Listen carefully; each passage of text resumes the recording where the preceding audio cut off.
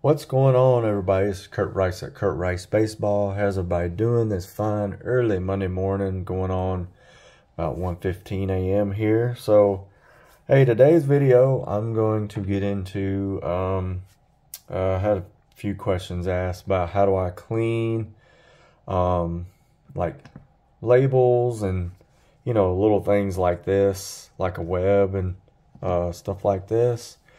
So, um, I figured I'd do a quick video. This was the web that I did. Uh, I took off on the All-Star Catcher's Mitt series. I took took this one off and put a new one on. If you see the web, the uh, web in the top, uh, middle of the web video, vertical laces, I used a brand new web. And I kept this one just to show you guys what I do. So without further ado, let's get started. Um, so people ask me, what do I use to clean them with? Uh, I used to use Dawn soap, uh, but they've here a couple years ago they came out with a product called Ball Players Balm glove cleaner. This stuff smells amazing. Um, I believe there's their info on the back right there. Top is at the ad the address is at the top, but um, made in the USA right there in North Carolina. But man, I'm telling you, this stuff works is great. Uh, small base business, they got they they're coming out with all types of stuff now, bat tack, and they just had the the glove cleaner and the conditioner and stuff like that. Now they've got conditioner, uh, game ready conditioner, uh, br brushes now, stuff like that, and I'm gonna get into that. So, ball players balm glove cleaner is probably the best stuff on the market that I've used so far. So, all right. So, what brushes do I use? I guess it just all depends. Uh, if I'm doing something like this small, um, I would I'll use something you know like this. Uh, Ball Players Balm even has brushes. They have two types, I believe. So um, this is kind of angled. So and it's got fairly hard bristles, not too hard, but fairly hard bristles. So it's gonna um, get in that grime and that dirt and uh, all that stuff and get it out of there. Uh, you can get by toothbrushes, little or nothing. You buy like a six pack for probably a dollar at Walmart. Uh, little cheap toothbrushes. I try to get the um, the hard bristles, the hard on the toothbrushes. That way, um, you know, it makes it a little stiffer. Know, clean the labels better, and plus this stuff. I also have one of these brushes um, right here, a little round brush where you can you can kind of scrub. This has got fairly hard bristles on it, so um, you got a lot of you got a glove. It's got a lot of dirt and stuff in it, and it's gonna take a minute to clean it. I would recommend this one. You know, I got this at Walmart. I think it's a Better Homes one. Probably like I think it was five or six bucks. May have been seven. I can't remember and I went to um, Tractor Supply here in Tennessee to get a horsehair brush. If it's not the dirt ain't as caked caked on on the glove as you know you like it to be, you know something like like this here, like the web, you could see all the dirt, or you know you see this glove here, how much dirt it's got on it. I would probably use um, probably use this brush here you know, or, you know, one of these. But the reason I like to use this one right here on cases like this, it gets more of the area, more of the area instead of a toothbrush. So, so I would use something like this, the hard bristles on more caked, uh, on gloves that's got more dirt in it, like this one does. You know, right on the back's not too bad, but this is where you want to use your toothbrushes right here to get in those in those little cracks and crevices. Of course, those laces are going to come out anyway. Like the like your labels, you would take it and uh, dip you, get you some clean water and, and dirty water, and I'll show you that here in just a second, and get these labels real good. And I'm about to show you that now. So, all right, so I'm just going to do the demonstration on this right here. So I have, I have over here to the right, I have clean, I think clean water and dirty water. It doesn't matter, just whichever one you're going to label. And I have both because uh, your clean water, you just want to use it to dip it in and then uh, put it in your ball player's bottom canister. And I'll show you that here in a minute. Then your dirty water, you're just rinsing your brush out in that dirty water. So to show you this right now, sorry about that. All right, so with this right here, uh, with this, I, I'll probably just go ahead and use uh, the ball player's brush.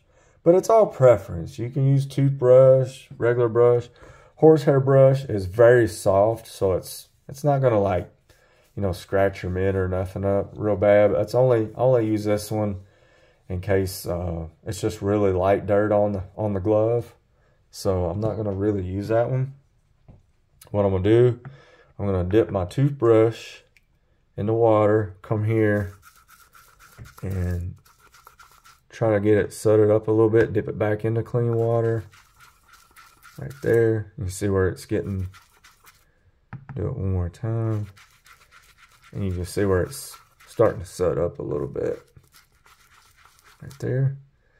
And this stuff smells amazing. It's incredible how good this stuff smells. And then what you do is you take it, and just brush it. Sorry, my camera's gonna move here a little bit. So come on this side, brush it a little bit. Go. Go. You don't have to scrub it real hard. Just give it a good, I'll go ahead and brush it all the way up top and down the lip. Go. Okay, now let's see here. I'm gonna rinse it off with my dirty water. Right there. Right there. Rinse it off. Give it a good scrub in there. Rinse it off in that water. I'll show you how to do that label in a minute. Okay, put it in your dirty water and get you a little rag. Get you a little rag, something like that, and then we're gonna wipe it off. Wipe it off there. Okay. There we are. This is how I clean all my gloves with that ball player's ball in there. That stuff, like I said, it's incredible. There it is. And if you if you can't, a uh, little trick that I kind I actually taught this myself. Um, if you when you clean this stuff and it's uh, not coming out them holes there, just take you a lacing needle and poke it through, and and then wipe just wipe your lacing needle off. So here we go. That looks pretty good. Tell the difference a little bit already. So rinse it out. Rinse this out in my dirty water here. Come back up. And the water I like to use, uh, I, I, like to use uh, the temperature. I like to use like lukewarm or just just a little hot tap water. But of course it's going to cool down when you do it. So see how it's sudded up now inside there? Right there. You just take your water, take your toothbrush, dip it in the water, and then come over here and dip it in here. We're gonna go ahead and get this get this real quick. You can scrub this all over now.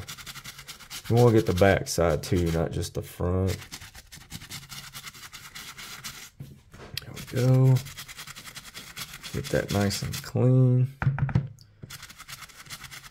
Dip it in some more clean water to get it all sudded up. Almost like brushing your teeth, you know, take some water and put a little water on that on that toothbrush and stuff like that. So okay. See how covered it is. Go. Wipe it off here.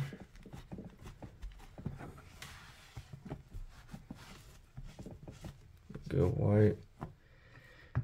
And even you can even take just some, uh, when you clean your brush off, you just take some water and dip it in there and, and you can uh, just uh, go in them holes and it'll it'll get most of that water, that soap back out right there. If it doesn't, like I said, in them holes and stuff up top, take you a lacing needle, poke it through there a couple times, and it will it will uh, get all that get all that soap out in between them holes right there. You know, you tell it's looking a lot better. So, but and of course, uh, you want to go to the backside and do your backside too. You don't want to you don't want to leave your backside out, but that is uh, that's how I clean labels and how I use what I use and what two what brushes I use to clean whatever. Uh, like I said, toothbrush, uh, ball player's balm, sells toothbrushes. I got a horsehair brush, real soft one at Tractor Supply. And I got this round one at Walmart. It's a Better Homes brush. Uh, I think it's their brand.